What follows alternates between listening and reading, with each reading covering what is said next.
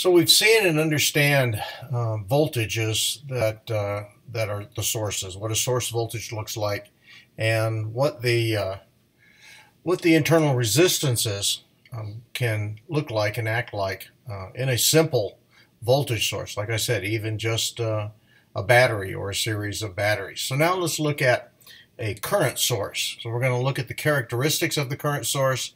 We're going to compare practical current sources to ideals, just like we did with the voltage, and discuss the effect of loading on a practical current source.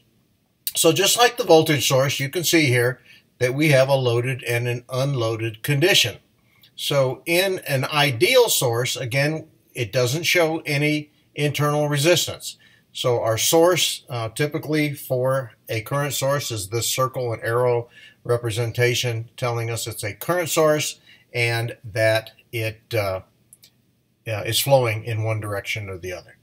So the unloaded and the loaded representations of a current source where we add uh, on the loaded side a resistive load. Again, typically just a model of any type of resistive, lo resistive load.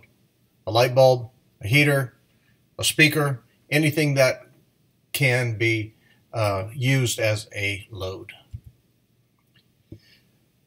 So in the case now of a practical current source, okay, as opposed to an ideal, again, you'll notice that we have added a internal resistance. Now, instead of the resistance being in series with the load, the internal resistance is placed in parallel or shunt with the load.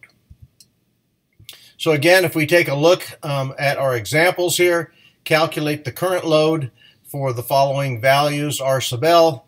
I'm going to let you do this. I'll give you three values of the um, load itself. The resistance will stay at 10 k ohms, and you will vary 100, 100, 560, and 1 k ohm out here on the load, and calculate what you think that the load, um, that varying that load is going to do to the circuit. So what is the symbol for an ideal current source? Well, just as we've seen before, it is just the source with no impediments, no resistor.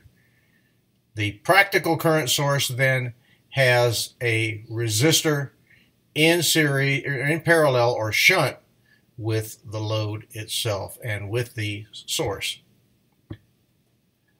So now we're going to take a look at um, conversion, source convergence uh, and determine what we can do um, to turn current sources into voltage sources and voltage sources into current sources, and then look at terminal equivalency.